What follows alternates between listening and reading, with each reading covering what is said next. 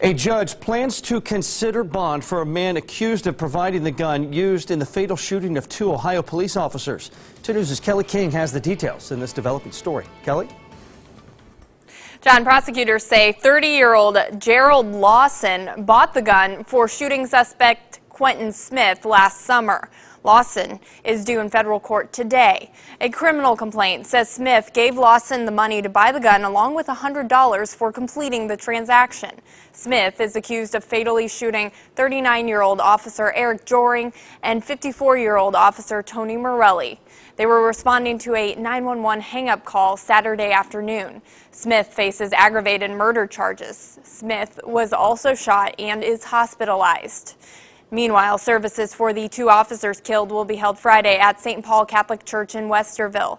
The city of Westerville will live stream the service. Kelly King, 2 News Today, working for you.